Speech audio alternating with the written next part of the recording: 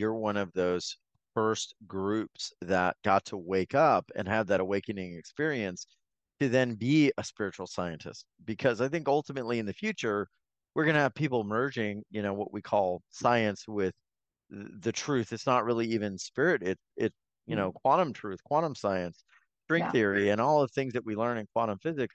Tell me about that awakening experience and and what visited you in the night. Tell me uh, what happened.